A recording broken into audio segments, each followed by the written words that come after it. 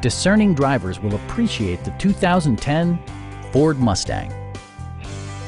This two-door, four-passenger convertible has just over 80,000 miles. Ford made sure to keep road handling and sportiness at the top of its priority list. Under the hood, you'll find a six-cylinder engine with more than 200 horsepower. And for added security, Dynamic Stability Control supplements the drivetrain.